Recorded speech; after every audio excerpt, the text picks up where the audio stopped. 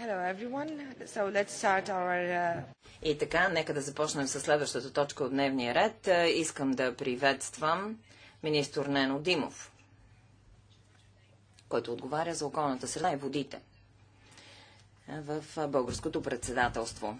Искам също да, го, да поздравя и него и България за първото председателство на страната. Пожелавам ви успех през едните 8 месеца, 6 месеца. Извинете.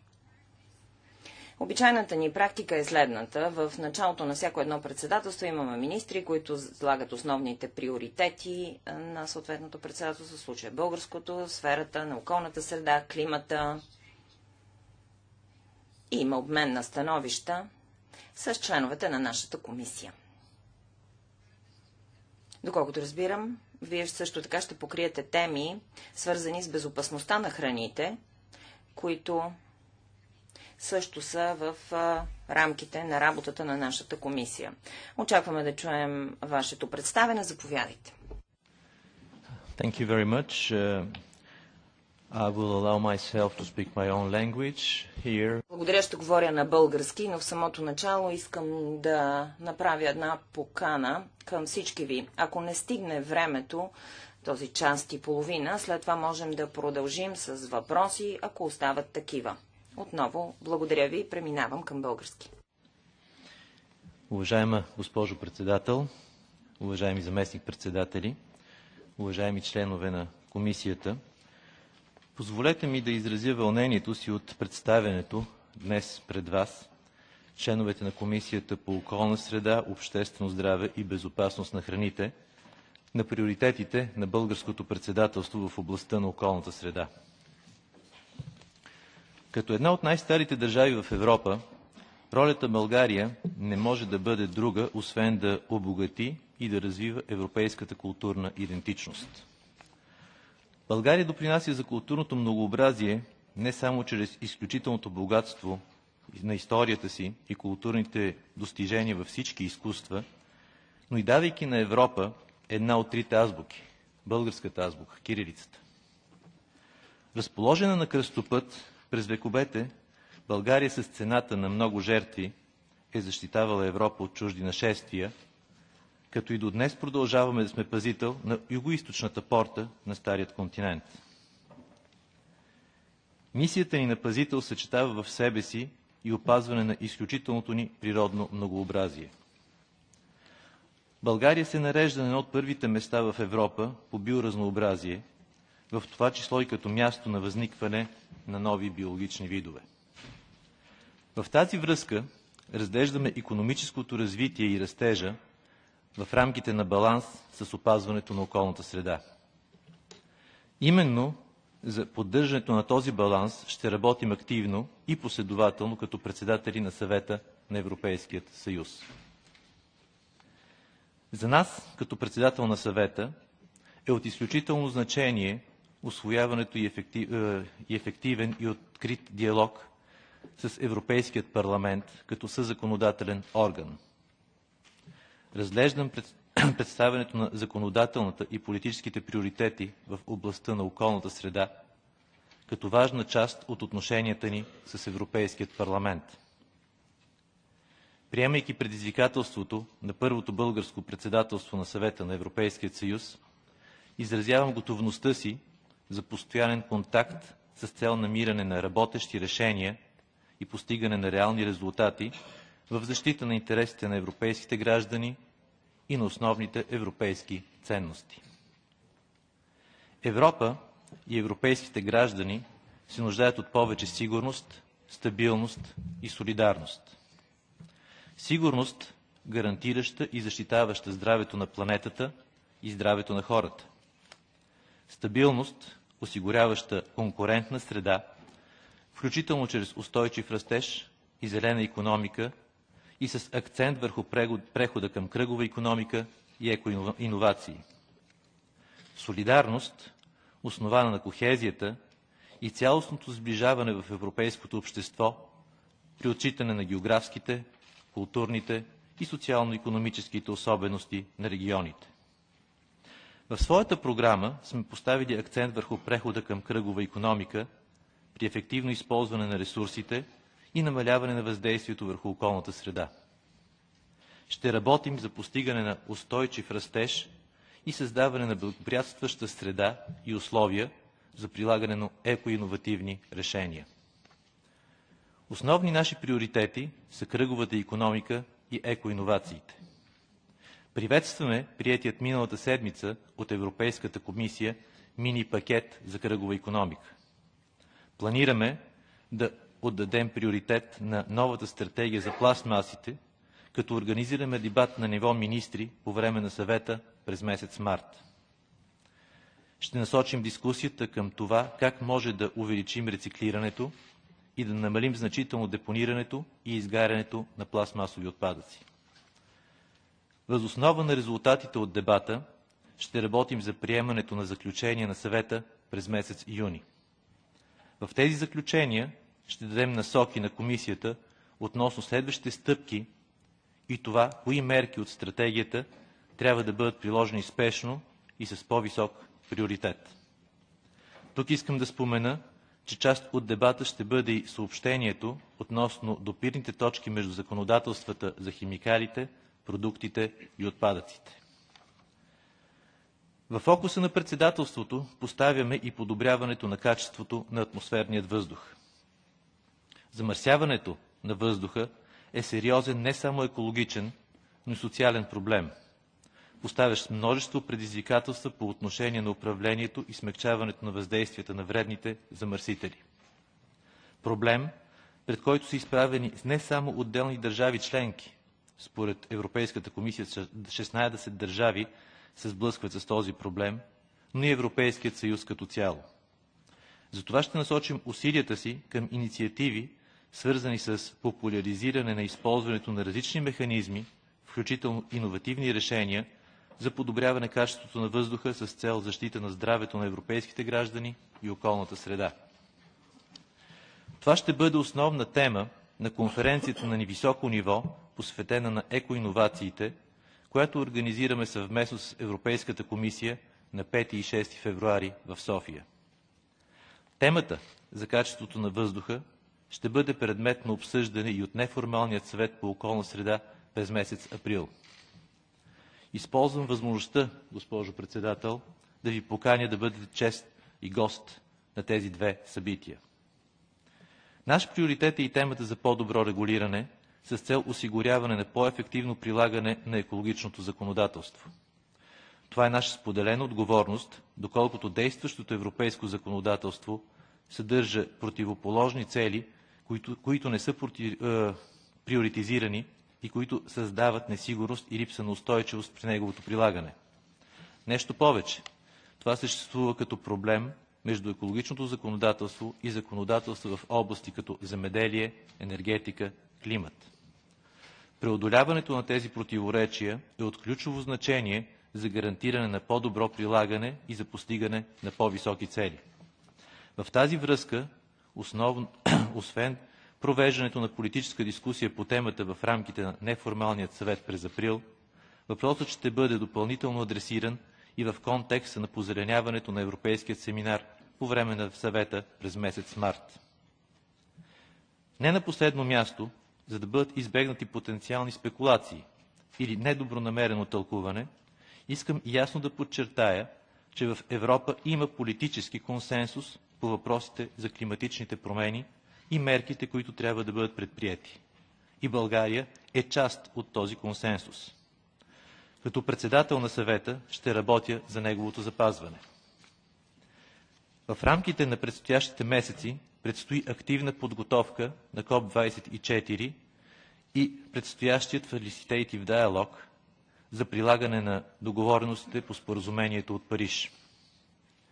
Ще адресираме и въпросите за адаптация чрез през призмата на потенциала и на политиките на Европейския съюз и по-добрата мобилизация на финансови ресурси от бюджета на Съюза. Новата законодателна рамка за декарбонизация на транспорта е друга ос, по която активно ще работим. Ще се стремим към постигане на политическо съгласие в преговорите с вас по предложението за мониторинг и докладване на емисиите от въглероден диоксид от нови тежки превозни средства. Започваме интензивни дискусии и по предложението за установяване на стандарти за емисии на въглероден диоксид от нови леко и лекотоварни пътнически автомобили. Отчитайки неговата значимост за автомобилната индустрия и всички европейски граждани, планираме провеждането на дебат на ниво министри по време на Юнският съвет с цел получаване на политически насоки за процеса и визия за декарбонизация на сектора. В заключение, България и българското председателство на съвета идва в ключов момент за бъдещето на Европейският съюз. Сблъскахме се с предизвикателства, които трудно можехме да предвидим и с кризи, за които бяхме забравили във времената на благоденствие. Вярвам, че предизвикателствата ни обединиха, направиха ни по-силни, а кризите ни научиха, че не трябва да приемаме нищо за даденост. И смятам, че на кризите трябва да отговорим с повече Европа. Затова вярвам, че бъдещето принадлежи на единна Европа, която е обединена, просперираща и солидарна, защото съединението прави силата. Благодаря. Thank you very much. Thank you very much. Много ви благодаря, господин министър. Сега координаторите на политическите групи, които ще ви зададат въпроси. И така, започваме. Господин Лавия. Благодаря ви, господин министър, за това, че сте тук днес в Комисията по околна среда, както и за темите, които посочихте като приоритети на българското председателство. Сътрудничеството между съзаконодателите е изключително важно. От една страна парламента, от друга страна съвета, защото те решават по Лисабонския договор законодателните линии, по които след това Европейския съюз се движи. Важно е също така, че вие подчертахте значимостта на някои законодателни пакети, които съветът възнамерява да разработи в рамките на 6 месеца на вашето председателство, като тръгваме, разбира се, с пакета за кръговата економика, намаляване на депонирането, рециклирането. Разбира се, че напълно споделяме тези цели, особено след като с предишното председателство постигнахме съгласие по този законодателен пакет и е добре да се мине към изпълнение и да може да станат факт всички неща, за които се споразумяхме. Другите приоритети – качество на въздуха, защита на гражданите, законодателство за околната среда, които отговарят на законодателни приоритети, по-зелени земеделски политики. Да, това са теми, които са при сърце на Европейския парламент. Обаче има една опасност, която виждаме от тук, особено що се отнася до общата селскостопанска политика или ОСП. Като че ли има ренационализация на тези политики и някакво ново разделяне на а, екологичните мерки. Ние не искаме такова нещо. Искам обаче да задам един конкретен въпрос, която, който ми е по сърце отново. Това е свързано с преразглеждането на директивата за питейната вода. Бе предвидено през 2015 година Европейската комисия да преразгледа първото приложение за качеството на водата, след това да се види какъв е технологичния прогрес, но никога така и не се актуализира това приложение едно. В това приложение има много конкретика за това каква е водата и особено съдържанието на определени химикали. Е, в Европейския съюз е, не винаги имаме достатъчно води а, и то питейни такива и затова вътре в директивата съдържанието на бор е като максимум 1 мг на литър, докато Световната организация а, здравето говорят 2, за 2,4 мг. Затова искам да ви попитам, при, след като е имало дискусии, с Европейската комисия. Дали не може да се преразгледа тази директива и не смятате ли, че това трябва да се направи много бързо, особено светлината на факта, че е, водата е напълно задължителна, а не а има навсякъде. Затова исках да ви попитам какво мислите по въпроса за питейната вода. мадам Бонафе. Grazie Presidente, buongiorno Ministro. E... Благодаря, госпожо председател. Добър ден, господин министър. Искам да ви поздравя двойно. От една страна, за това, че ще ни ръководите през следващите 6 месеца, защото това е първия, първото такова 6 месеца за България. Много важни законодателни досиета са пред вас. Те са важни за социалистите и демократите, които представлявам. Много работа ви очаква, за да разработите позиция на съвета по емисиите на CO2 от автомобилите или МПС. Също така продължаването на триалога за мониторинга на емисиите на CO2 от камионите. Колегата Дзофоли отговаря за тази тема в Европейския парламент. Това са изключително важни теми, за да се постигне Парижкото споразумение, както и всички поети задължения на Съюза по Парижкото споразумение, както и подобряването на въздуха за нашите граждани. Говорихте също така за мини пакета за кръговата економика и стратегиите за пластмасата. Те току-що излязоха и бяха дискутирани в Страсбург на пленарното ни заседание. Има още една тема – кръговата економика. Споменахте в началото, казахте, че е един от приоритетите на председателството. Аз бях докладчик по това досие. Постигнахме предварително съгласие, миналия месец даже бих казала, след преговори, които бяха много сложни. За съжаление, нещата в момента остават в секретарията. И затова искам да ви моля за помощ да тръгне напред а, и да се спази споразумението. И всички мерки от кръговата економика, рецикла, рециклиране и така нататък, намаляване на депонирането да станат факт. Беше ми много приятно да чуя, че говорите за еко-инновации. Това е една много важна тема, централна тема, защото имаме нужда от технологични решения, имаме нужда от иновация, за да имаме продукти, които да отговарят на изискванията за устойчивост през целия цикъл, при който се използват и това ще доведе и до нова економика. Затова ще ви помоля да работите в тази посока, за да може Европейската комисия максимално бързо също да излезе а, с своите предложения по кръговата економика. Нека да ви попитам, ако искам да ме да променим парадигмата на развитието, ако искаме да тръгнем към устойчиво развитие в Европа, преди всички останали, за да бъдем по-добри и конкурентно, тези теми е, не трябва да се свързват само с околната среда. И вие го казахте. Казахте го, искате економика, която обаче опазва околната среда. И за това ви питам, смятате ли, че ще може да се стигне до един общ документ, е, заедно с съвета по конкурентоспособност и да може тази тематика да не е само свързана с е, околната среда, но и с рестартирането на економиката на Съюза. Благодаря.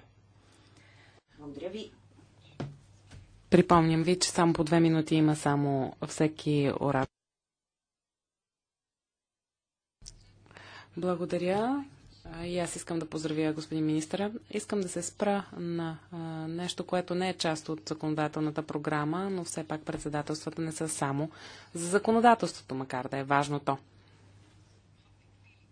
все пак има и една задача свързана с това да се усети общественото отношение към някои въпроси и мисля, че има един такъв проблем, който е свързан с качеството на въздуха и атмосферния въздух. И видях доклада на а, Агенцията за България и действително България споделя този проблем с редица други държави членки и ми се иска да видя някакво действие, което може да се предприеме без да се чака законодателство, някаква декларация, която, към която се присъединяват държавите членки и казват, че са готови да предприемат сериозни действия по повод на този проблем. В много държави членки, толкова дълъг е списъка, че не може да го изброим. И още един дълъг списък този месец беше публикуван от Европейската комисия във връзка с този проблем. Мисля, че той вече навлиза в мащаба на криза и ми се струва много важно да се предприеме конкретно действие. И се питам дали можете да споделите какво според а, вашия опит на национално равнище може да а, използвате, което ще подпомогне председателството да предприеме конкретни действия по този въпрос.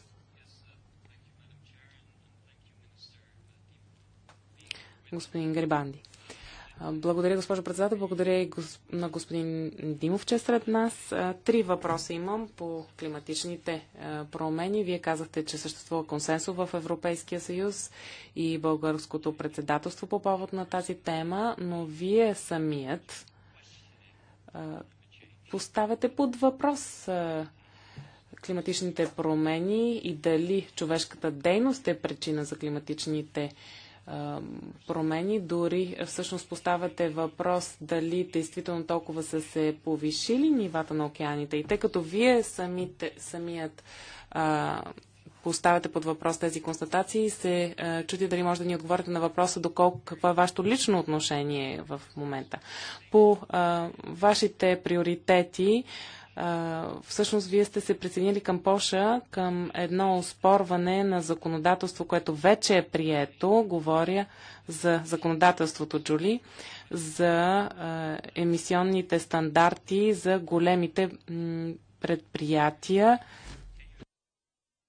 горивни инсталации и е, за това искам да попитам как може хем е, това да е един голям приоритет за вас, хем от друга страна законодателно да успорвате тези стандарти, които са прияти. И накрая е, завършвам с въпрос за стратегията за биоразнообразието. Знам, че по всички критерии имате червена точка, освен един.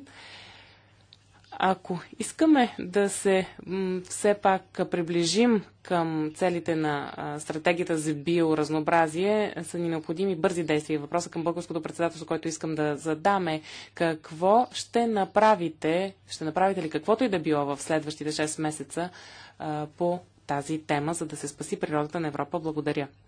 Благодаря много, госпожа Валечна. Благодаря, госпожо председател. Уважаеми господин министър, разбирам, че кръговата економика и законодателството в областта на отпадъците са все важни теми, но сме изправени пред един друг пакет, който беше прият на последната пленарна сесия в Страсбург, този за климата. Три документа фигурират там, Лусиев, управлението, биогоривата, както и енергийната ефективност. Управлението на енергийния съюз. Тези теми вие не ги засегнахте и затова искам да ви попитам дали ще работите по тях, било то при прилагането на законодателните актове или докладите, или пък под формата на някакви триалози, които се планират. Как гледате на този въпрос? Какво можем да очакваме от вас по време на тристранните срещи? И един друг въпрос, свързан с биогоривата.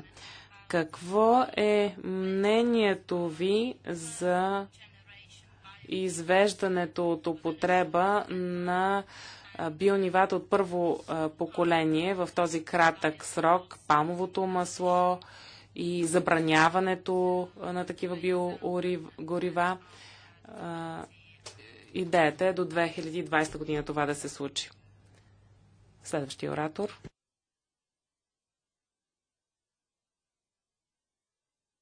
Тук ли е госпожа Мела? Няма. Тогава с това изчерпваме първия кръг от въпроси. Господин министър, вие имате възможност сега да отговорите на колегите. Благодаря много. Изключително важни въпроси, които бяха повдигнати и ми давате възможност да допълня изказването си. Всъщност ми беше казано, че изказването трябва да бъде достатъчно кратко и не можех естествено да включа всичко. С това частично отговарям на последният госпожа Валечна, защо да, на който въпрос, разбира се, ще се върна накрая. Ще се опитам по реда на задаване. Господин Лавия, естествено, че всичко, което е свързано с здравето на гражданите на Европейския съюз е важно. Аз го подчертах от гледна точка на качеството на въздуха, но то по никакъв начин не омалуважава питейната вода или който и да е друг компонент на околната среда, който е важен за човешкото здраве. А, между другото, може би трябва да спомена, че според Европейската комисия, според доклад България е една от страните с най-добро качество на питейна вода. Но представлявайки тук а, а, съвета, аз а, няма да говоря от национална гледна точка, от гледна точка на председателството. Резултатите от прегледа на директивата за питейна вода от една страна показаха, че правилното й прилагане е един от ключовите инструменти за гарантирането на качеството на питейните води, консумирани на територията на Европейския съюз. В същото време в рамките на прегледа се идентифицираха редица проблемни области, които се нуждаят от подобряване. Факт. Така, например, това са въпросите свързани с предоставянето на информация на потребителите, стандартите за качеството и други. Ние очакваме предложението на комисията за преразглеждане на директивата, която да адресира тези проблеми. Уверен съм, че наша обща цел е да бъде развита директива, която да гарантира еднакво ниво на защита на човешкото здраве от неблагоприятните въздействия на замърсяването на питейните води в целият Европейски съюз. Тоест, даваме си сметка за важността, но все пак очакваме инициативата на комисията. Госпожа Бонафе зададе всъщност няколко важни теми, свързани с кръговата економика, екоинновациите и като цяло растежа в Европейският съюз. Може би, започвайки с кръговата економика, с кръговата економика може би едно от най-ярките примери на околната среда, че в околната среда е перфектният модел на кръгова економика. Ние трябва да случим и да взимаме пример от там. Екоинновациите не случайно са приоритет на тройката. Всъщност Европа няколко пъти е преминавала през определени кризи и именно гения на европейското възможност да прави, да измисля ново, е водил Европа отново към просперитет. И може би това е момент, в който поставени пред редица предизвикателства, ние ще стимулираме този европейски гений отново, комбинирайки всичките си усилия. Това е безспорно много важен дебат, който надали ще завърши в българското председателство, но поставяйки го в фокуса на тройката, аз предполагам, че то ще продължи да бъде в фокус и на следващи председателства, защото това не е нещо, което ще бъде решено в рамките на 6 месеца или на година но това е процес, който ние всячески трябва да подпомагаме и да стимулираме. Пакета за отпадъци също беше поставен във вашият въпрос. Естония извърши огромна работа. Ние отчитаме големият напредък, който се свърши. ние самите си поставяме за цел да се опитаме през месец февруари да внесеме този пакет в Корепер, за да може да продължи по-нататък. Господин Грининг се спя основно върху качеството на въздуха. Факт е, че трябва да бъдат предприяти мерки и действия. Факт е, че тези неща могат да бъдат направени на законова основа и не задължително. Това, което мене ми се иска, аз гледах много внимателно картата, която е издала Европейската агенция по околна среда и за средноденонощните превишения в Европа подчертавам Европа, не Европейският съюз, и за средногодишните превишения. И там виждам нещо, което като че ли не се адресира в момента, което ние трябва да се опитаме да направим и това са Западните Балкани. Те не са част от Европейският съюз, но са част от Европа. Това е а, приоритет на българското председателство като цяло. Ние трябва да покажем перспективата и пред тези граждани, които да могат да усетят Европа като своят естествено място, своят естествен дом. Така че, тръгвайки в посоката на търсене на конкретни мерки, искам да включа и тях. Между другото, аз съм отправил покана към техните министри на околната среда по време на форума, който ще се проведе в София на 5 и 6 февруари и който всъщност комбинира екоинновациите, което е както казах, приоритет на тройката, с конкретният български приоритет чистотата на въздуха, именно екоинновации, именно за подпомагане чистотата на въздуха, се надявам да бъдат адресирани и включени и тези държави в общия диалог, защото въздуха не познава граници. А здравето е ценно на всички, всички европейци. А, господин Грибанди. Господин Грибанди постави няколко въпроса, част от които бяха лични. С удоволствие бих преминал, както казах и в самото начало, на отговор на личните въпроси, но аз съм тук първо в качеството си на български министр, второ като председателстващ съвета на Европа.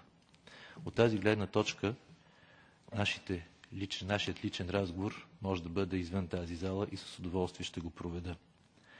Не случайно подчертах в своето изказване, че в Европа има политически консенсус.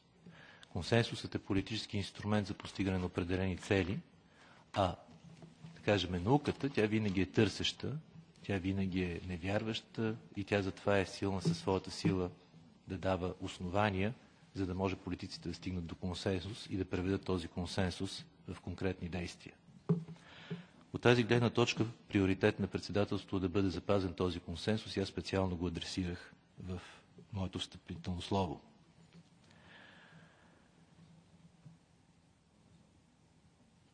Също така записах въпроса, че България се е присъединила към Полша, за да успори един акт на комисията. Аз не виждам по никакъв начин противоречие между това, че качеството на въздуха е основен приоритет на България и на още 16 страни членки, а може би трябва да се каже на общо 28 страни членки, и това, че се успорва един акт по неговата законосъобразност по начин на приемане. От тази гледна точка аз мятам, че законите трябва да се спазват задължително. Ние считаме, че има процедурни нарушения, а не считаме, че трябва да се допускат такива. Ако съдът прецени, че това е така, естествено ние ще се съобразим с решението на съда. Но законността е нещо, което е в фундаменталните ценности, точно спазването на закона на демокрацията и ние считаме, че имаме това право. Затова сме се присъединили и към иска на Полша. Запитахте и за спасяването на природата. Всъщност България може би може да бъде пример за това в момента, защото България е една от страните с най-голям процент натура. 34%, дори повече от 34% в България е натура. Не случайно подчертах, че економическото развитие, в което ние трябва да имаме, трябва да бъде в баланс с постигането на опазване на околната среда и на биологичното разнообразие. И двата стълба, и економическото развитие и околната среда са важни за просперитета и благоденствието на европейските граждани. Всеки от тях, който бъде нарушен за сметка на другия, не води до нещо позитивно. Само чрез баланса между тях два може да изградиме по-добър живот на европейските граждани. А, госпожа Конечна. Всъщност, аз се опитах да отговоря в самото начало за част от въпросите на енергийната ефективност записах като един основните и регламента за управление. Извинете.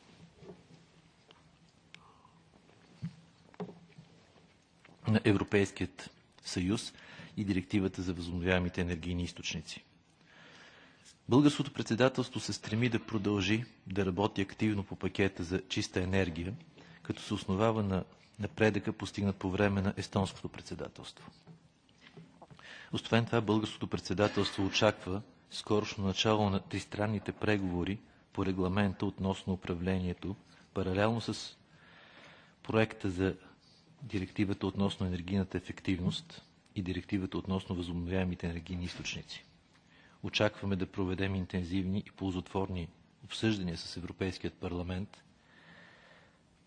и да предотвратим, и да преговаряме с вас в духа на конструктивната прозрачност. И може би тук трябва да подчертая нещо изключително а, важно. Всъщност всички вие, народните представители в Европейският парламент, представлявате различните групи, социални групи, с различните интереси на вашите избиратели. И трябва да, търсиме, трябва да търсите баланс между тези интереси.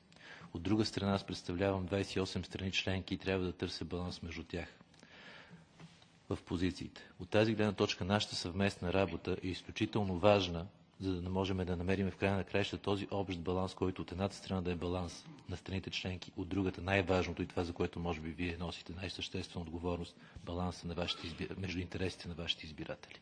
Така че смятам, че тук ще има една отворена врата за много сериозен разговор помежду ни. Благодаря. Thank you very much. Now, colleagues, uh, second round. Благодаря много. Сега, колеги, втори кръг въпроси. Имате възможност да зададете. Моля ви да се ограничите в рамките на една минута. Първата ораторка има думата. Госпожа Шуица. Благодаря, госпожо председател. Уважаеми господин министър, при положение, че един от приоритетите, както вие казахте, са Западните Балкани за българското председателство, и тяхната интеграция в Европейския съюз, имам един конкретен въпрос за околната среда и попада всъщност и във вашите приоритети. Преди около месец една ужасна екологична, един много сериозен екологичен проблем се разрази в нашите води, близо до моя град Добровник. Имам а, някои а, фотографии, които мога да ви покажа. Става въпрос за изхвърляне на токсични отпадъци от кораби, а, огромни количества а, отпадък, които идват от Албания и от Черна гора и а, стигат дори до а, Добровник и до Харватските острови. Не веднъж съм се обръщала към Европейската комисия за помощ да предотвратят тия, тези проблеми. Дори съм цитирала Барселонската конвенция за защита от такива отпадъци. Въпреки всичко това обаче стават все повече и все повече тези отпадъци и а, вредят изключително много. Чакам с нетърпение а, стратегията за пластмасите, която миналата седмица Страсбург беше прият като пакет. Но как виждате регионалното сътрудничество между Европейския съюз ЮС и тези държави кандидатки, как ще, какво е необходимото, което трябва да направим, за да спазват те по-добре законодателството в областта на околната среда, дали не трябва да има по-стрикни критерии за отварянето и затварянето на главите по околната среда. Това е моят конкретен въпрос. Благодаря. Следващия оратор има думата господин Парню. Уважаема госпожо председател, уважаеми господин министър, аз бях докладчик за историческото споразумение в Париж и след това отново бях с докладчик при подготовката за КОП-23. И преди днешното изслушване отбелязах по прочетох за вашите лични становища, които никак не вървят в посоката на действията, които ние предприемаме всички заедно в Европейския съюз с цел борба с климатичните проблеми, промени. Казва се тук, че сте казали, че това е мит, който се стимулира от левите сили, за да може да се натрупа индустриален капитал. Не е така, господин министр.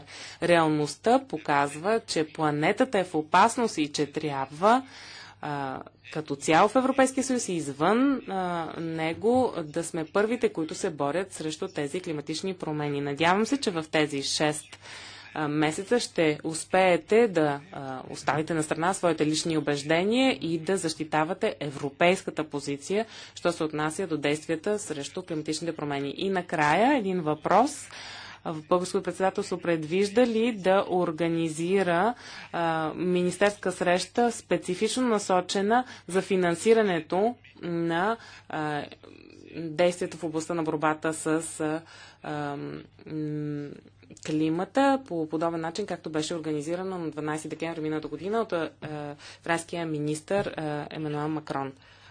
Госпожа Майкер. Седя Уважаема госпожо председател, уважаеми господин министр, ще се спра на темата стратегия за пластмасите. Чудесно е, че след представянето от комисията това ще стане и ваш приоритет. Аз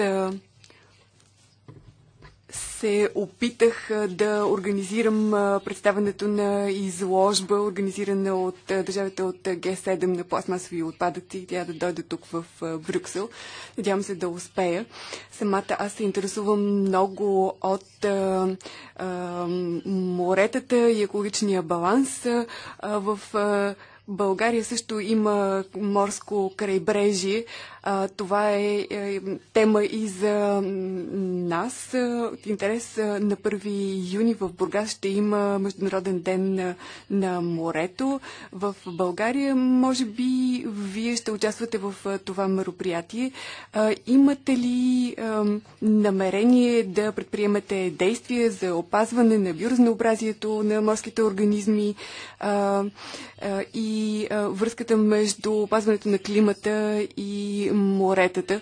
На мене ми се струва, че трябва да вземат отношение към тези въпроси като министър на околната среда. Благодаря, госпожа Кавезун.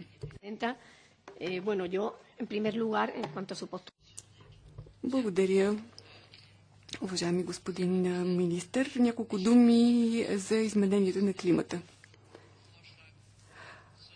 Вашето предложение беше а, шокиращо.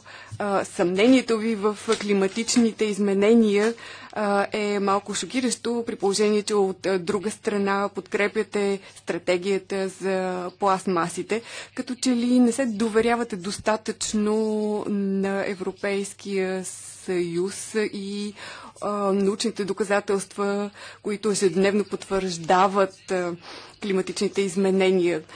Не знаем защо са изчезнали динозаврите, дали е било изменение на климата или комета, но смятам, че трябва да използваме научните достижения, за да сме наясно с климатичните изменения. Но последиците не могат да бъдат отречени. Има наводнения в Европа, горски пожари в миналите десетилетия. Комисията предложи механизъм за гражданска защита при природни бедствия. Има различни рискове в различните региони на Европа. Трябва да бъдат отчетени спецификите, но имаме нужда, според мен, от ясен механизъм за превенция и превъзмогване на щетите. Това надвишава капацитета на държавите членки, както стана ясно при последните горски пожари в Португалия и в Испания. Механизмът за солидарност не е достатъчен, той беше изчерпан. Има региони, които имат голямо население, но са не по-малко засегнати от а, природни бедствия, а, не може да се отчита само брутния вътрешен продукт. Следващият а, оратор, господин Ек. Уважаеми господин министр, много благодаря за изложението на вашите цели пред българското председателство. Вие подчертахте, че българското председателство поставя акцент върху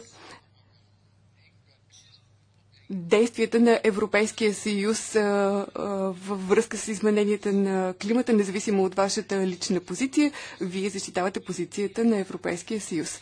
А, искам да попитам дали българското председателство ще работи върху включването на емисиите от селското стопанство в усилията за смягчаване на последиците от, върху климата. Знаете, че сектора животновътство произвежда толкова високи емисии, че трябва да се реагира. Не трябва да заравяме главата си в пясъка, само защото темата е важна за нашето прехранване трябва емисиите да бъдат а, ограничени и имаме нужда от председателство, което да говори прямо. Искам да попитам дали ви имате смелостта да се обърнете директно и да говорите по този щекотлив въпрос или ще се потопите под вода, както вашите колеги до сега. Благодаря, господин Войкен. Много благодаря, госпожо председател. Уважаеми господин министр. И аз съм шокиран от дебата, който се води тук. Не смятам, че е нужно само да установим, че имаме консенсус по климатичните изменения и че ви го одобрявате като председателство. Смятам, че е прекалено малко това за политическия дневен ред. Всички в тази зала сме единодушни, че и научните достижения показват, че съществува изменение в климата. И а, не смятам, че е приемливо вие а, с формулировки да се опитвате да поставите под съмнение това. В Европейския съюз има един милион граждани, които нямат достъп до питейна вода. А, знаем, че преразглеждането на директивата за питейната вода е свързано с а, правото на питейна а, вода, а, право на достъп. Всички които нямат достъп до питейна вода, би трябвало да а, имат, а, да бъдат твърдо свързани с мрежата. Какво мислите вие по този въпрос? Благодаря, госпожа Каденбах. Много благодаря за вашето посещение. Може би ще се подготвен за моя въпрос. Може би няма да ви очуди, че ще говорим и за Пиринския национален парк. Аз самата съм виждала този парк само на снимка, за съжаление. Сега има широки групи от обществеността, но и неправителствени организации, които са загрижени за бъдещето на този национален парк. А, той съдържа две големи зони от Натура 2000 и е а, част от световното природно наследство. А, предстои а, предоговаряне на правото за застоя... застояване. Вие твърдите, че само 2% ще бъдат а, отворени за застояване. Ще се изгради нов а, въжен лифт, а, но има и планове за изграждане на нови писти и а, реконструкция. Ако се разгледат плановете, става ясно, че около 42% ще бъдат отворени за водохващане. Според българското законодателство това е допустимо само за питейна вода. Ние се опасяваме, че те ще бъдат използвани и за производство на изкуствен сняг вашето решение на 29 декември не отговаря изцяло на европейското законодателство. А, ние смятаме, че е нарушена директивата за опазване на а, околната среда. Какво е вашето мнение по този въпрос? Благодаря, казва председателката. Имаме още малко време. Ако някой друг иска да зададе въпрос, има възможност да го направи сега. Няма да има спонтанни изказвания днес. Добре, в такъв случай давам думата на вас, господин министр. Благодаря, госпожо председател. Благодаря и на всички, които отправиха въпроси в момента. Ще се опитам отново да мина по начина, по който бяха, в мисъл по реда, по който бяха зададени, но ще си позволя, тъй като имаше четири въпроса, които е, горе-долу са в една и съща посока, да дам общ отговор. Госпожа Шуица, която ме запита за всъщност кръговата економика като, като един от приоритетите, които си поставя българското председателство. Всъщност ние приветстваме приятият на 16 януари от комисията мини пакет за кръгова економика. Това буквално преди няколко дни, преди една седмица беше прият и ние очаквахме с нетърпение този пакет тъй като кръговата економика и според нас като председателство, а и в национален мащаб, считаме, че е един от онези двигатели, които може да се стимулира и включително да стимулира екоинновациите. Виждаме много сериозна връзка между тях. Планираме да отдадеме приоритет на новата стратегия за пластмасите и да организираме дебат на ниво министри по време на съвета по околна среда през месец март, т.е. на първият съвет, който ще има на министрите. И ще насочим дискусията към това как може да увеличим рециклирането и да намалим значително депонирането и изгарянето на пластмасови отпадъци.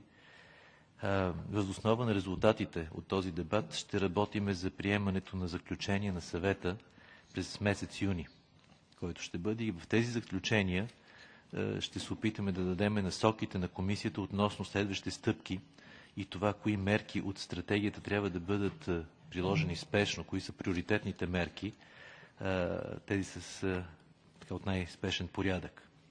Тук искам да спомена, че част от дебата на ниво министри и от заключенията ще бъде и съобщението относно допирните точки между законодателствата за химикалите, продуктите и отпадъците. Господата, всъщност господин Парньо, госпожа Кабезон, господин Ек и господин Войкен говориха за промените в климата. Ще ми позволите да обобща няколко неща и след това господин Войкен имаше и допълнителен въпрос за водата, който ще адресирам отделно. Не е маловажно, когато се постигне политически консенсус трябва да си даваме, че науката не борави с термин консенсус, докато политиката побрави. При политиката консенсусът е ключов инструмент за постигане на определени цели. Той е изключително важен. Ако няма консенсус, тези цели ще срещнат съответно опозиция. При науката обаче не може да поставяме тази дума, защото науката сама по себе си винаги е търсеща. Тя се изправя винаги пред предизвикателства, тя се съмнява и това е ролята. Тя ако стигаше до консенсус, нямаше да върви напред. От тази гледна точка, по време на българското председателство, ние ще работим в рамките на политическият консенсус, който е постигнат и между 28-те държави членки, и в Европейската комисия, и в Европейският парламент. Този консенсус ще бъде запазен и продължен. Така че аз не виждам сериозно притеснение. Нещо повече, като министър на околната среда, аз председателствам съвета и работя за консенсуса, който е постигнат там.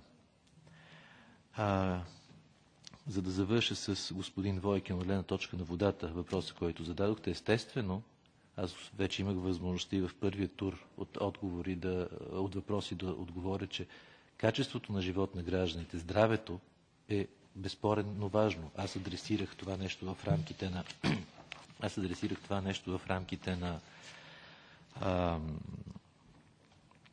в рамките на въздуха по време на моето изказване, но водата не прави изключение. То също е важен елемент. Просто не може да имаме пет приоритета равнопоставени, но приоритет на първо място е здравето на гражданите. Защото аз няколко пъти го повторих. И всяко нещо, което адресира здравето, е важно да бъде, да бъде работено за него. Така че естествено в тази посока ще трябва да има развитие. А, мисля, че остана въпросът на госпожа Кабезон свързан с гражданската защита. Като председател на съвета на Европейския съюз ще работим за изграждането и прилагането на ефективни механизми за повишаване сигурността на гражданите на Европейския съюз. Включително чрез намаряване на риска от бедствия, което е приоритет за нас и в национален, и в европейски мащаб. България осъзнава политическото значение и мотивирана да постигне напредък по досието. Разчитаме на бъдещето ни ползотворно сътрудничество и, време, че с, и вярваме, че с съвместни усилия ще отговорим на очакванията на гражданите и повишаване на ефективността на реагирането за бедствия и аварии. А, госпожа Мейснер, мисля, че също зада... А, отговорихте на госпожа Мейснер, извинявайте. Госпожа Каденбах, задавате ми изключително е, въпрос, който е свързан с... Е, госпожата отзад прави знак, че не съм отговорил. извинявайте, нещо, в, понеже сумирах няколко въпроси, вероятно съм пропуснал, някой ще се върна. Задавате ми въпрос, който е свързан изключително с национални, то част от националната политика. Няма много допирна точка с председателството на Европейския съвет.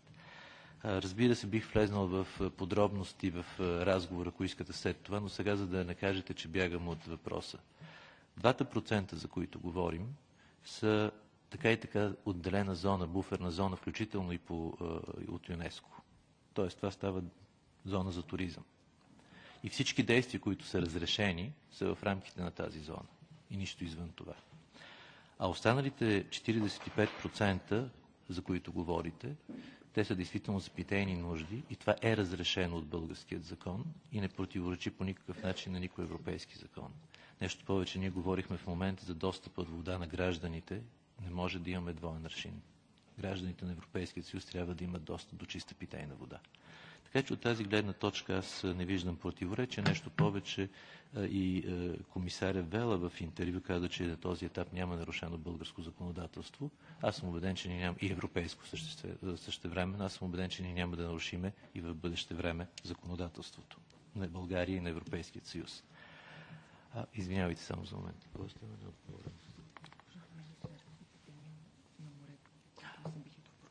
Да, да. Госпожо Мейснер, извинявайте. Вие адресирахте Деня на морето събитието, което ще се проведе в Бургас на 31.1. И въобще за това, че България има водна граница с море и въобще какво се случва с замърсяването на, на моретата и океаните. Да. Да, да, действително ще има такова събитие. Ние отдаваме голямо значение на чистотата на морето. Между другото, предстои един сериозен проект, който в момента се подготвя за картиране на Черно море по линията отново на Натура. Така че отдаваме значение, но отново това е въпрос, който е свързан пряко с България. Мене ми се иска да говоря като председател на съвета за всичките 28 страни членки и всеки, всяка от тях, която има излъз на море, а и не само, са загрижени за чистотата, защото това е свързано, пак както казах и преди малко, и с опазване на околната среда, и с економическото развитие, а само балансът между тях може да бъде в края на краищата да доведе до, до благоденствие на европейските граждани.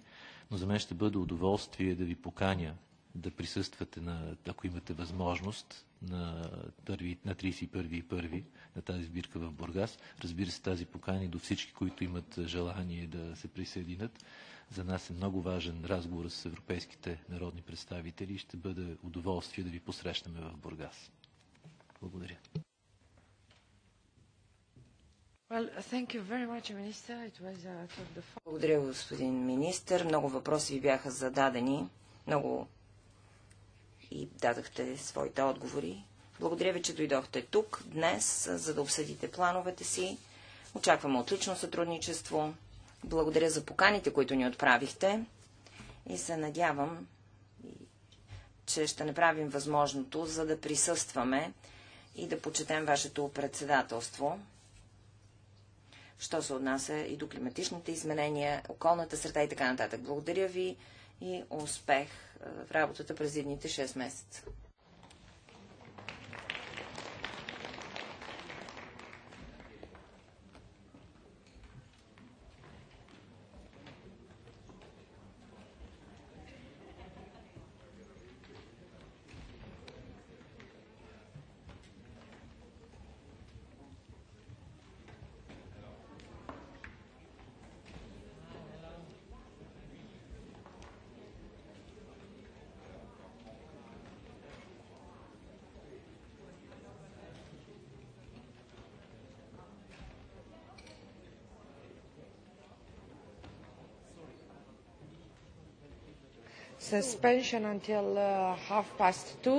Have... До два и половина прекратявам заседанието, когато господин Верховщад ще бъде тук. Моля